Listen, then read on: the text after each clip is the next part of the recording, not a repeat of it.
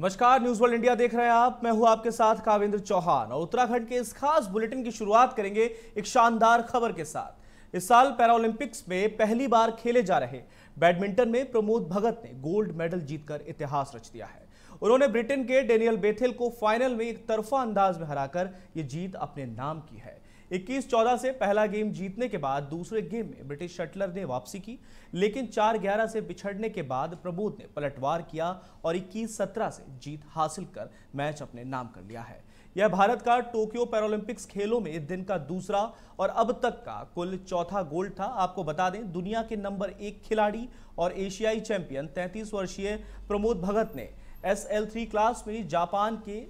दाइसुके फुजिहारा को 36 मिनट में 21-11, 21-16 से हराकर फाइनल में जगह बनाई थी प्रमोद ने विश्व चैंपियनशिप में चार गोल्ड समेत 45 अंतर्राष्ट्रीय पदक जीते हैं वहीं बी विश्व चैंपियनशिप में पिछले आठ साल में उन्होंने दो स्वर्ण और एक रजत जीता है 2018 पैरा एशियाई खेलों में उन्होंने एक रजत और एक कांस्य पदक भी जीता था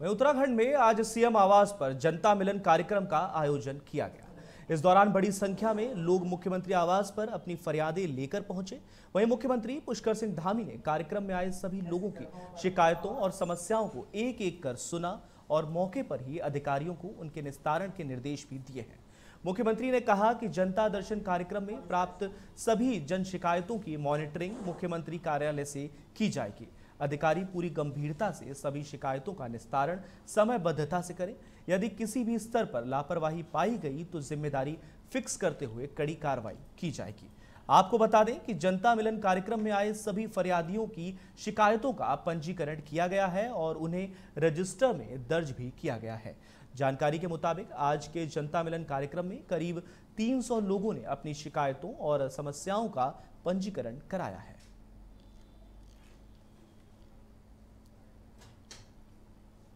नहीं हमने कभी ये शुरुआत की है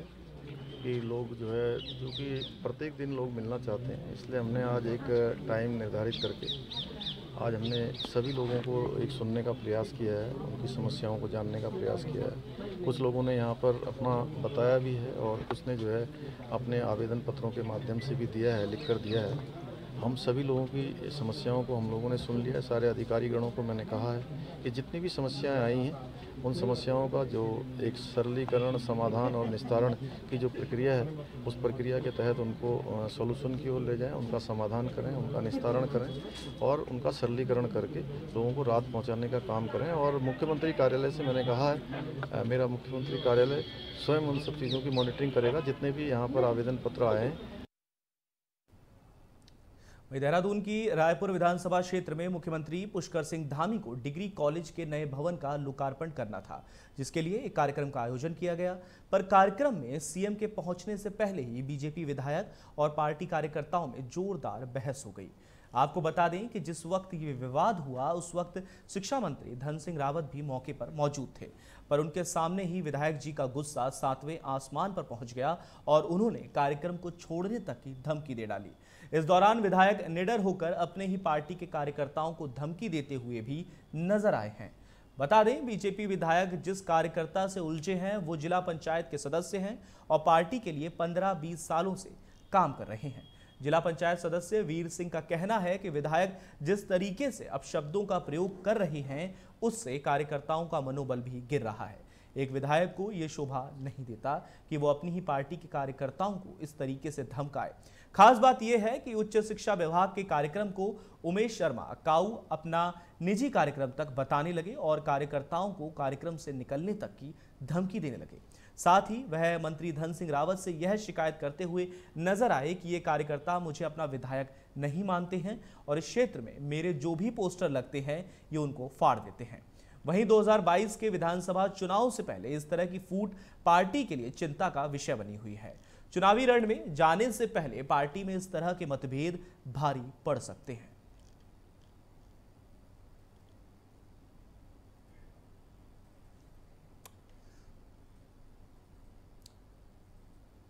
उत्तराखंड में खटीमा से चली कांग्रेस की परिवर्तन यात्रा आज लालकुआ पहुंची जहां कांग्रेस कार्यकर्ताओं ने परिवर्तन यात्रा का जोरदार स्वागत किया इस दौरान हजारों की संख्या में मौजूद युवा कार्यकर्ताओं ने वीआईपी गेट से सभा स्थल हाट बाजार तक बाइक रैली भी निकाली इस दौरान पूर्व सीएम हरीश रावत ने कहा कि परिवर्तन यात्रा का मकसद कांग्रेस का मुख्यमंत्री बनाने का नहीं बल्कि परेशान आम आदमी को जिंदा रखने के मकसद से ये यात्रा निकाली जा रही है उन्होंने कहा प्रदेश की जनता बेरोजगारी महंगाई से त्रस्त है किसान काले कृषि कानूनों के विरोध में सड़कों पर हैं पेट्रोल डीजल के दाम आसमान छू रहे हैं विकास कार्य ठप हैं पर बीजेपी सरकार के कानों में जू तक नहीं रेंग रही उन्होंने कहा कि आज देश का लोकतंत्र खतरे में है मोदी सरकार सिर्फ अंबानी और अडानी को लाभ पहुंचाने का काम कर रही है और इन्हीं सभी समस्याओं से निजात दिलाने के लिए कांग्रेस ने परिवर्तन यात्रा का आयोजन किया है उन्होंने कहा कि 2022 के चुनाव में जनता कांग्रेस को ही सत्ता में लाने वाली है तस्वीरों में आप देख सकते हैं परिवर्तन यात्रा लालकुआ पहुंच चुकी है जहां पर इससे पहले पूर्व मुख्यमंत्री हरीश रावत ने भी कहा था कि परिवर्तन यात्रा दरअसल सत्ता को परिवर्तित करने के लिए है वहीं आज ये यात्रा लालकुआ पहुंची है लालकुआ पहुंचने के बाद पूर्व मुख्यमंत्री हरीश रावत ने कहा है कि ये यात्रा जो निकाली जा रही है वो बीजेपी सरकार को सत्ता से बेदखल करेगी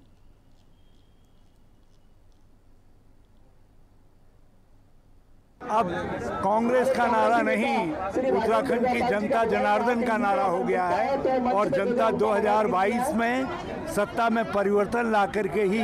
इसकी पूर्ण आहुति करेगी परिवर्तन की और वहाँ से हम उत्तराखंड के भाग्य परिवर्तन के काम को आगे बढ़ाएंगे एक नए सिरे से नए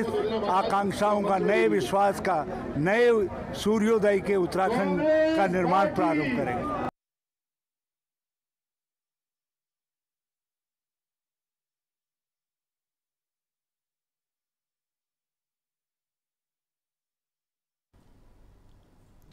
उत्तराखंड के पूर्व मुख्यमंत्री त्रिवेंद्र सिंह रावत हरिद्वार पहुंचे जहां उन्होंने कनखल स्थित जगतगुरु आश्रम में जगतगुरु शंकराचार्य राज राजेश्वरानंद महाराज से मुलाकात कर 2022 के विधानसभा चुनाव में जीत का आशीर्वाद लिया इस दौरान जगतगुरु राज राजेश्वरानंद ने त्रिवेंद्र सिंह रावत को अब तक का सबसे बेहतर मुख्यमंत्री बताते हुए कहा कि त्रिवेंद्र सिंह रावत के कार्यकाल में भ्रष्टाचार मुक्त उत्तराखंड का सपना साकार हुआ है वहीं त्रिवेंद्र सिंह रावत ने भी 2022 विधानसभा चुनाव में बीजेपी की बड़ी जीत का दावा करते हुए कहा कि इस बार उनकी पार्टी उत्तराखंड में एक बार बीजेपी और एक बार कांग्रेस पार्टी की सरकार बनने वाले मिथक को तोड़ेगी वहीं उन्होंने आम आदमी पार्टी से बीजेपी को कोई खतरा ना होने की बात कही है उन्होंने कहा कि उत्तराखंड की जनता राष्ट्रवादी विचारधारा वाली पार्टी को ही वोट देती आई है और आगे भी बीजेपी को ही वोट देगी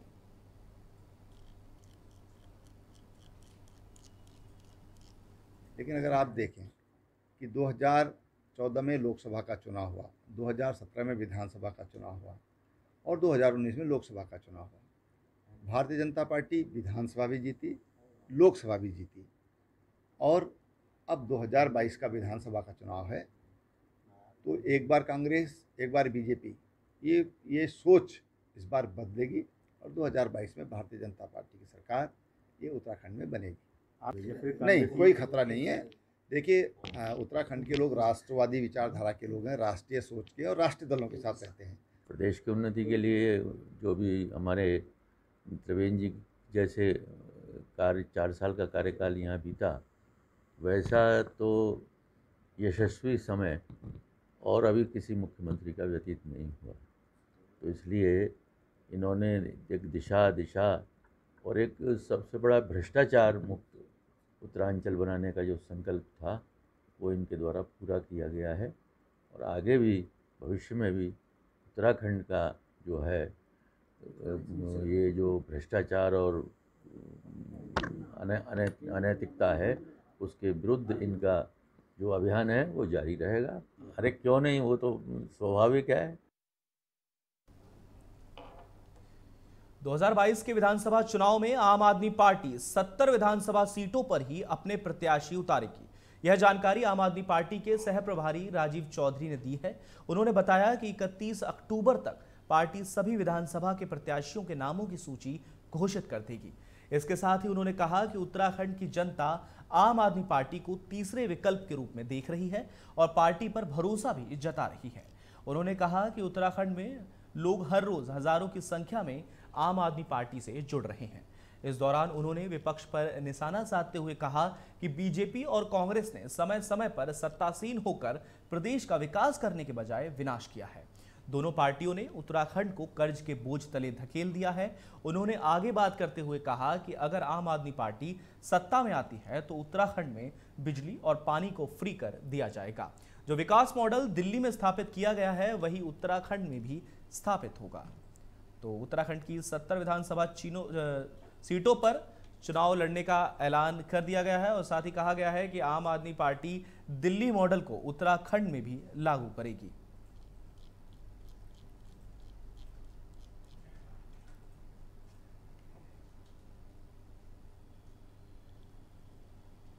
पौड़ी में इस साल भी मॉक ड्रिल का आयोजन करने के मामले में पुलिस प्रशासन की सुस्ती साफ नजर आई है आपको बता दें पौड़ी में पुलिस के द्वारा आपदा राहत एवं बचाव कार्य की मॉकड्रिल का आयोजन किया गया है पर यह आयोजन उस वक्त किया गया है जब बरसाती सीजन खत्म होने की कगार पर है जिसका सीधा असर पुलिस के आपदा प्रशिक्षण पर पड़ रहा है इसी के चलते थाने में तैनात पुलिस जवानों को एडिशनल एसपी ने जमकर फटकार लगाई है बता दें एडिशनल एसपी पौड़ी थाने का अर्धवार्षिक निरीक्षण करने के लिए थाने पहुंची थी जहां एडिशनल एसपी मनीषा जोशी ने थाने में तैनात पुलिस जवानों को निर्देश दिए हैं कि बरसाती दौर निपटने तक मॉक ड्रिल आयोजित करते रहें जिससे मॉक ड्रिल में पेश आ रही खामियों से सबक भी लिया जा सके एडिशनल एसपी ने कहा कि किसी आपदा के घटित होने पर पुलिस जवान पूरी तरह से एसडीआरएफ के भरोसे ही रहते हैं और पूरा भार एसडीआरएफ को अपने भरोसे उठाना पड़ता है एडिशनल एसपी ने कहा कि आपदा का बेहतर प्रशिक्षण ही पुलिस जवानों का अनुभव बढ़ा सकता है इसलिए पुलिस जवानों को मॉक ड्रिल आयोजित करते रहने के लिए सख्त निर्देश दिए गए हैं साथ ही पुलिस के जवानों को आम जनता से सलीके से पेश आने को भी कहा गया है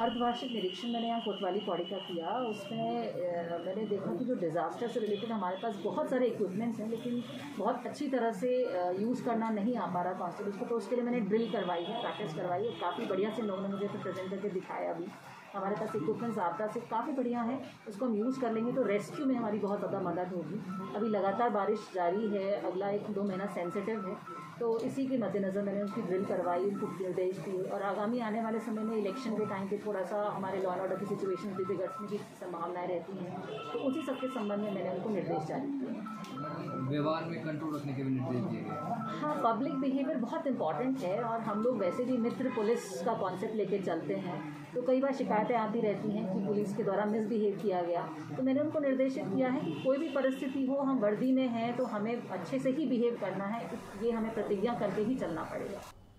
वहीं रुद्रपुर के सिडकुल में स्थित एचपी कंपनी के कर्मचारियों ने बीजेपी नेता विकास शर्मा को ज्ञापन सौंपकर नौकरी पर बहाल करवाने की मांग की है बता दें एचपी कंपनी के सिडकुल स्थित प्लांट को बंद करने की तैयारी की जा रही है जिसके चलते कंपनी ने तमाम कर्मचारियों को नौकरी से निकाल दिया है जिससे कर्मचारियों के सामने रोजी रोटी का संकट खड़ा हो गया है जिसके चलते कर्मचारियों ने नौकरी बचाने के लिए वरिष्ठ बीजेपी नेता विकास शर्मा से मिलकर उन्हें ज्ञापन सौंपा है जिसमें उन्होंने नौकरी पर बहाल करने की गुहार लगाई है मामले को विकास शर्मा ने श्रम आयुक्त विपिन कुमार से फोन पर बातचीत कर कर्मचारियों की समस्या का निस्तारण करने की मांग की है उन्होंने कहा है कि कर्मचारियों के साथ अन्याय नहीं होना चाहिए इसके साथ ही उन्होंने एचपी कंपनी के एचआर हेड राजेश गौतम से भी बात कर एचआर को जल्द ही प्रकरण को सुलझाने की बात कही है तो नौकरी पर बहाल करने के लिए ये गुहार लगाई गई है रुद्रपुर से सीधी तस्वीरें हैं जहां पर बीजेपी नेता को ज्ञापन सौंपा गया है और कहा गया है कि उन्हें नौकरी से निकाल दिया गया था जिसके बाद उन्हें नौकरी पर दोबारा बहाल किया जाए इसी को लेकर गुहार लगाते हुए ज्ञापन सौंपा गया है बीजेपी नेता को जिसके बाद बीजेपी नेता ने श्रम आयुक्त से सीधे बात की तो बीजेपी नेता विकास शर्मा ने श्रम आयुक्त से बात की है और कहा है कि एच एच हेड से बात की जाए और इन सभी लोगों को जल्द ही दोबारा ज्वाइनिंग दी जाए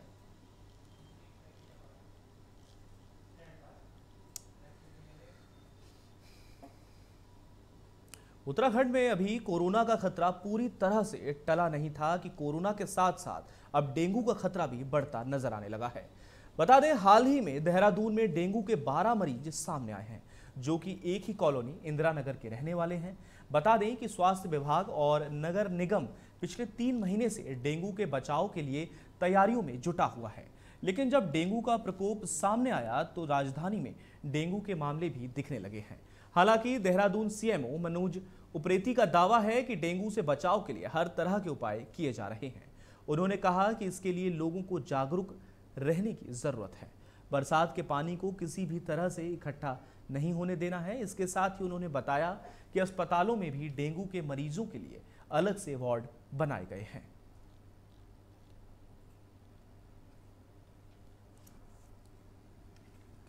के कुछ केसेस आए हैं ज़िले में जैसे कि लगभग अभी 12 केसेस रिपोर्ट हुए हैं और ये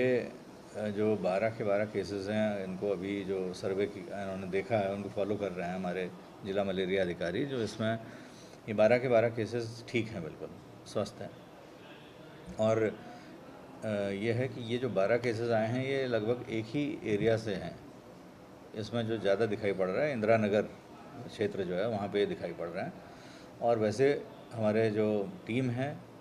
वो पूरी की पूरे देहरादून में जो है इसमें लगी हुई है अपने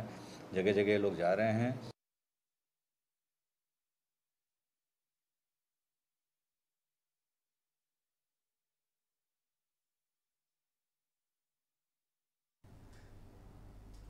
देहरादून के लाल तप्पड़ में उस वक्त हड़कंप मच गया जब एक लीसा फैक्ट्री में अचानक आग लग गई बता दें फैक्ट्री के आसपास का इलाका घनी आबादी वाला है जिससे आसपास के इलाके में भी लोग दहशत में नजर आए आग इतनी भयानक थी कि काफी दूरी से भी आग की ऊंची ऊंची लपटें और काला धुआं दिखाई दे रहा था वहीं मौके पर पहुंचे दमकल के वाहन ने कड़ी मशक्कत के बाद आग पर काबू पाया बता दें जिस वक्त ये हादसा हुआ है उस वक्त फैक्ट्री के अंदर कई कर्मचारी मौजूद थे तो देहरादून की लीसा फैक्ट्री में आग लग गई जिसकी तस्वीरें आप अपनी स्क्रीन पर देख सकते हैं फैक्ट्री में आग लगने की ये तस्वीरें देखिए जहां पर आग की लपटें ऊंचाइयों को छू रही हैं जहां पर ये आग ने विभत्स रूप धारण कर लिया और कड़ी मशक्क़त के बाद इस आग पर काबू पाया जा सका है दमकल की कई गाड़ियां मौके पर पहुंची जिन्होंने आग को बुझाने का कार्य किया आग लगने से आसपास के इलाकों में भी हड़कंप मच गया आपको बता दें यह हादसा उस वक्त हुआ था जिस वक्त फैक्ट्री के अंदर कई कर्मचारी मौजूद थे आग की लपटें आसमान को छू रही थीं जिसके बाद दमकल की गाड़ियां पहुंची और कड़ी मशक्कत के बाद आग पर काबू पाया गया ये एक्चुअली जो है लीसा से जो बिरोजा वगैरह बनाते हैं कुछ इस तरह का बनाते हैं यहाँ पे वो लीसा स्टोर है उसमें आग लगी है यहाँ पे कुछ मजदूर काम भी कर रहे थे और उनको पूछा गया कि अंदर कोई इस तरह का कोई एल सिलेंडर तो नहीं है तो उन्होंने कहा एल कोई सिलेंडर नहीं है फायर एक्सटिंग रखा है उसको उन्होंने सिलेंडर कहा था फिलहाल कोई देर के लिए तो नहीं हुआ जैसी जैसे माहौल हो गया था लेकिन उसके बाद कन्फर्म हुआ कि कोई एल सिलेंडर नहीं है तो हमारे दोनों तरफ से दो गाड़ियाँ लगी हैं फायर फायर फाइटिंग का काम करा कर रहे हैं पानी पहुँच नहीं पा रहा है कोशिश कर रहे हैं अभी काफ़ी हद तक कंट्रोल तो कोई जान जान का कोई जान नहीं कोई हताहत तो नहीं है नहीं नहीं कोई हताहत नहीं खाली आग लगी है और नुकसान आग लग रही है वहीं काशीपुर में आज किसान कांग्रेस के प्रदेश अध्यक्ष सुशील राठी ने रामनगर रोड स्थित कांग्रेस किसान कार्यालय का उद्घाटन किया इस दौरान उन्होंने पत्रकारों से बातचीत करते हुए कहा कि कांग्रेस द्वारा निकाली जा रही परिवर्तन यात्रा से बीजेपी सरकार का पतन तय है उन्होंने कहा कि कांग्रेस की परिवर्तन यात्रा चार चरणों में होना तय हुआ है जिसकी शुरुआत खटीमा से हो चुकी है उन्होंने कांग्रेस कार्यकर्ताओं और आमजन से आह्वान किया है कि 5 सितंबर को काशीपुर पहुंच रही परिवर्तन यात्रा में अधिक से अधिक संख्या में हिस्सा लें और केंद्र व प्रदेश की जन विरोधी बीजेपी सरकार को उखाड़ फेंकने का संकल्प लें उन्होंने कहा कि ये परिवर्तन यात्रा बीजेपी सरकार में हो रहे भ्रष्टाचार और अन्य सामाजिक मुद्दों को लेकर निकाली जा रही है जिसकी कमान पूर्व मुख्यमंत्री हरीश रावत प्रदेश अध्यक्ष गणेश गोदियाल और नेता प्रतिपक्ष प्रीतम सिंह समेत पार्टी के दिग्गज नेता संयुक्त रूप से संभाल रहे हैं इसमें चल रही है जिसको हमने चार चरणों में रखा है पहला चरण हमारा खटीमा से शुरू हुआ है और वो पदया हमारी जो है परिवर्तन यात्रा चल रही है और जिस तरीके से पूरे प्रदेश में वो खटीमा से यात्रा शुरू हुई है उसमें जल सैलाब किसान भाई आम जन जिस तरह से उमड़ रहे हैं उससे लग रहा है कि ये सरकार जो है धराशायी हो गई है और इस सरकार को अब जो है उखड़ने का टाइम आ गया है और कांग्रेस पार्टी की सरकार जो है पूरे प्रदेश में आ रही है उधम सिंह नगर में दर्जनों लोगों ने उपजिलाधिकारी के माध्यम से राष्ट्रपति को ज्ञापन भेजकर दिल्ली सिविल डिफेंस में काम करने वाली साविया सैफी के साथ सामूहिक दुष्कर्म के बाद निर्मम हत्या करने वाले दरिंदों के खिलाफ कठोर से कठोर कार्रवाई की मांग की है जनहित कल्याण समिति के अध्यक्ष कलीम रिजवी ने बताया कि इक्कीस वर्षीय साबिया दिल्ली पुलिस डिफेंस में कार्यरत थी और 27 अगस्त की शाम को साबिया अपने घर नहीं लौटी घर वालों ने काफ़ी खोजबीन की पर साबिया का कोई पता नहीं चल पाया जिसके बाद सूचना मिली कि साबिया की हत्या हो चुकी है उन्होंने कहा कि देश में आए दिन हो रही ऐसी घटनाओं से देश की बहन बेटियां अपने आप को असुरक्षित महसूस कर रही हैं उन्होंने कहा कि बेटियां बेटियों की सुरक्षा के लिए कोई सख्त कदम उठाने की आवश्यकता है इसके साथ ही उन्होंने मांग की है कि साबिया के हत्यारों को जल्द से जल्द पकड़कर फास्ट कोर्ट के माध्यम से मुकदमे की सुनवाई की जाए और कातिलों को कड़ी से कड़ी सजा दी जाए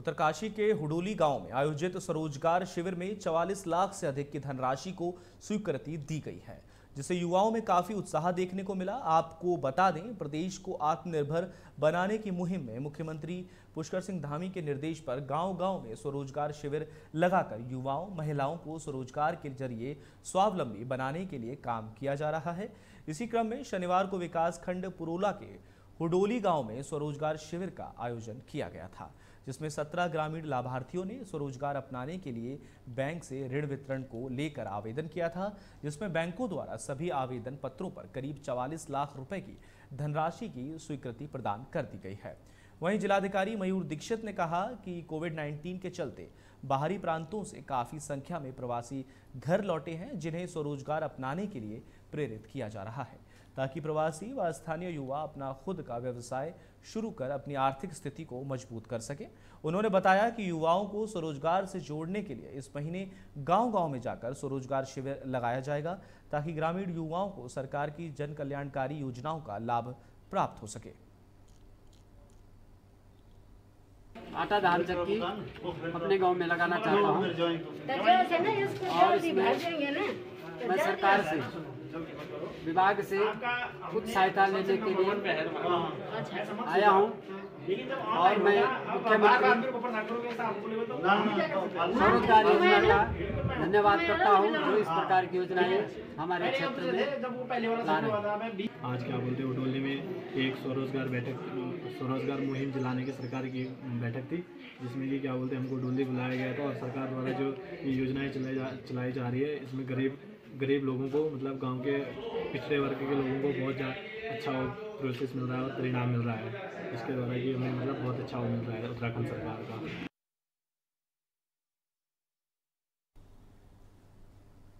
चमोली के कर्णप्रयाग शहर से करीब एक किलोमीटर पीछे ऋषिकेश गौचर की ओर एक ट्रक जो कि रामनगर की तरफ जा रहा था कर्णप्रयाग के पास अचानक अनियंत्रित हो गया और लगभग 150 मीटर गहरी अलकनंदा नदी की खाई में जा गिरा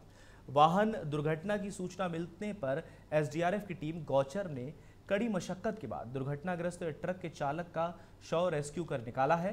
ट्रक चालक की पहचान रामनगर निवासी 35 वर्षीय असगर के रूप में हुई है मामले में चालक के शव को पोस्टमार्टम के लिए भेज दिया गया है तो चमोली का यह पूरा मामला जहां पर अनियंत्रित ट्रक खाई में जा गिरा जिसके बाद ट्रक चालक की मौत हो गई और ट्रक चालक के शव को रेस्क्यू कर एसडीआरएफ की टीम ने बाहर निकाला है चौकी प्रयाग से हमें सूचना मिली थी कि यहाँ कर्णप्रयाग के पास एक किलोमीटर पहले तालेश्वर महादेव के समीप एक ट्रक जो खाई में गिर गया था इस सूचना पे हमारी एसडीआरएफ टीम जो गौचर की थी तुरंत घटनास्थल पे गई मौके पे नीचे खाई में उतरी जो लगभग डेढ़ सौ मीटर नीचे खाई थी वहाँ पे उतर के देखा तो गाड़ी में एक व्यक्ति था जो कि जिसकी मौके पे ही मृत्यु हो चुकी थी टीम के ने उनका रोप के माध्यम से स्टेशन के माध्यम से उसको रेस्क्यू करके और जिला पुलिस के सुपुर्द कर दिया गया वहीं रुड़की में टाटा मोटर्स की ओर से टोक्यो ओलंपिक्स में शानदार प्रदर्शन करने वाली हैट्रिक गर्ल वंदना कटारिया को सम्मान स्वरूप एक कार भेंट की गई है जिस पर वंदना कटारिया ने कंपनी का आभार व्यक्त करते हुए इस हौसला अफजाई पर कहा कि ये उत्साहवर्धन अन्य खिलाड़ियों के लिए एक सबक होगा जो देश के लिए कुछ करते हैं उनके लिए देशवासी बहुत कुछ करते हैं इस मौके पर टाटा मोटर्स के मैनेजर ने कहा कि पूरी महिला हॉकी टीम ने अपने प्रदर्शन से विश्व में भारत का डंका बजा दिया है वंदना कटारिया तो हैट्रिक गर्ल के रूप में हम सभी के दिलों में बस गई हैं वंदना कटारिया और पूरी महिला हॉकी टीम ने राष्ट्रीय खेल हॉकी के प्रति भारतीयों के दिलों में प्रेम और बढ़ा दिया है आपको बता दें कि रुड़की में देहरादून रोड स्थित टाटा के शोरूम पहुंची भारतीय हॉकी टीम की स्टार खिलाड़ी वंदना कटारिया का शोरूम में जोरदार स्वागत किया गया जिसके बाद उनके अच्छे प्रदर्शन के लिए एक कार सम्मान स्वरूप भेंट की गई है इस मौके पर वंदना ने लड़कियों के लिए कहा कि माता पिता को भी लड़कियों को आगे बढ़ने का अवसर देना चाहिए उन पर रोक नहीं लगानी चाहिए लड़कियों को उनके लक्ष्य तक जाने देना चाहिए और लड़कियों को भी कड़ी मेहनत करके अनुशासन में रहकर अपने लक्ष्य को पाना चाहिए